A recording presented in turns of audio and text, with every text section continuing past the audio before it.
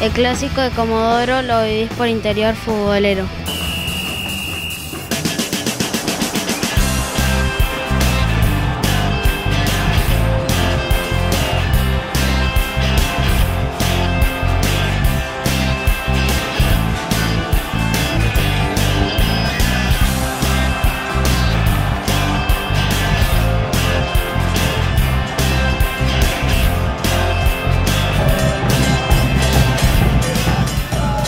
Clásico más importante no solamente de Comodoro, sino de toda la Patagonia. Es como Boca River, pero eh, del sur.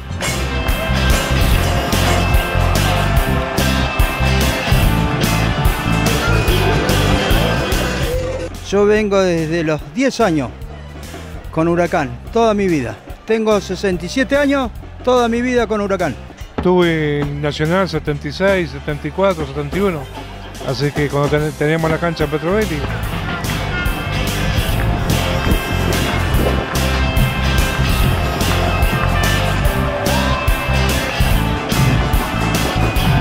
Distintos barrios vienen a la cancha. Todo Comodoro está pendiente del clásico. Los clásicos son trabados. Eh, hoy hay que ganar como sea, medio a cero.